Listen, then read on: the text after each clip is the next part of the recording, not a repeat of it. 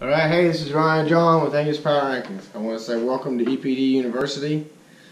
Uh, I think you're really going to learn a lot, especially if you've never really studied EPDs. This is a place that you can come and if you read over all the material, watch all the videos, I'm absolutely certain that you will completely understand EPDs if you take the whole course and you take it seriously and, and uh, actually study it.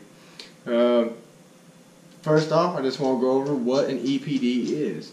An EPD is the prediction of how future progeny of each animal to perform relative to the progeny of other animals in the database.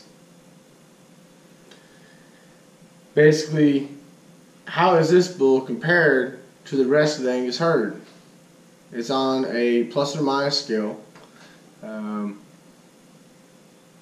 you can use EPDs to judge this bull over that bull. So if this bull has a, a, a BW birth weight of negative 2.3, then you could say this bull is going to have calves that on average are going to be negative 2.3 pounds lighter than the average birth weight that Angus herd. So zero zero is the mean, and it's a plus or minus scale. So if zero is the average birth weight of the Angus herd, and you look at uh, yearling weights, if you're, if you're looking at yearling weights, and, and let's say uh, Quaker Rampage's yearling weight, I think it's like a 134.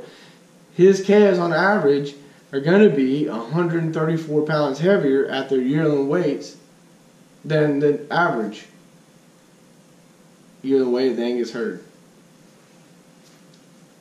That's an overview of how it works.